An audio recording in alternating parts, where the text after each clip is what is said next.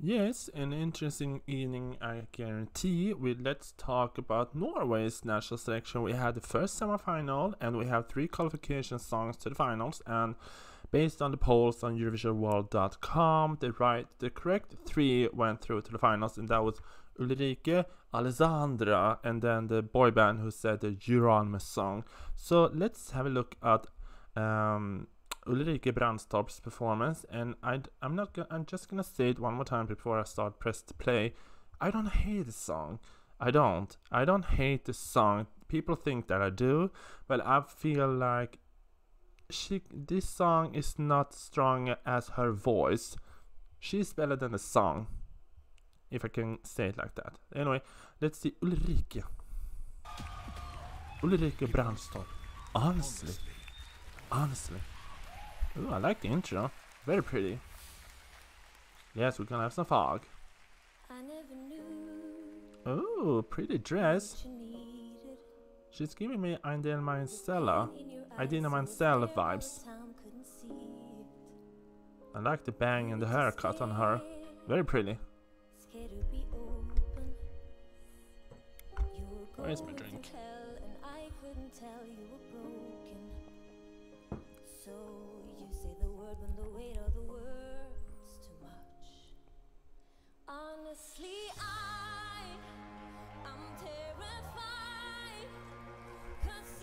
The thing is that I want to ask this before I move along.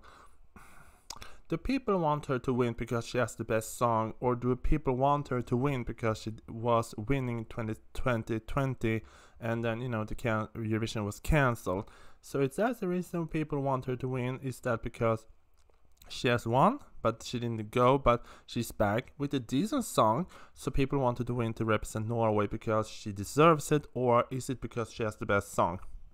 You tell me. Anyway, let's keep moving.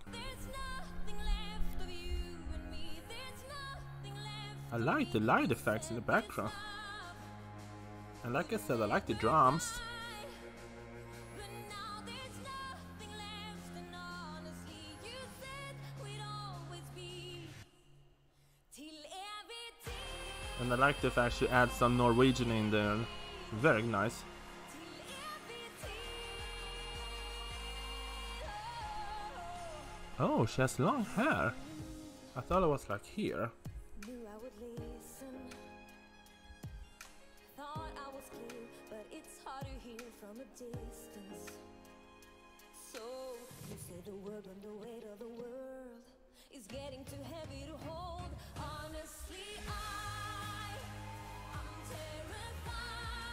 I like this part of the song a lot.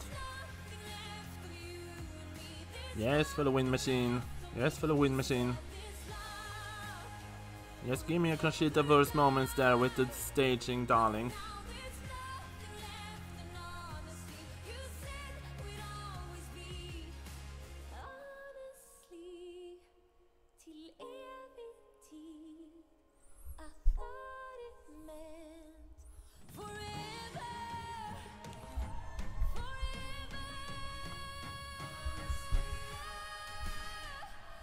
Well, she's not disappointing me with the vocals. The vocals is amazing.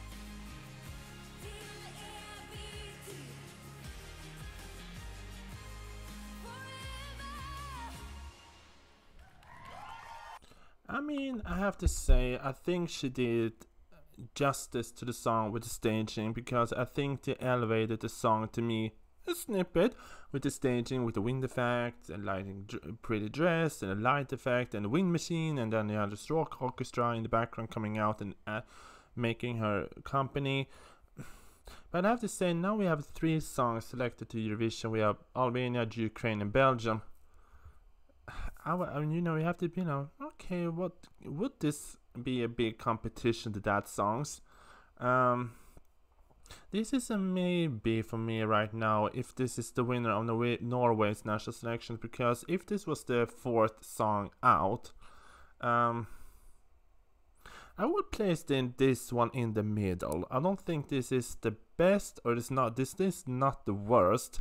But as for now, I mean, I, I have to see what we're getting out for Eurovision because I think we will have some more songs eh, for before the finals of Norway's national selection, and then we see how this works.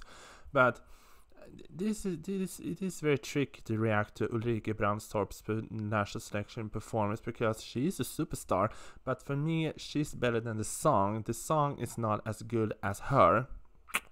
So I think she did very well with this performance. So yeah, let's see how it turns out and let's see Alessandra.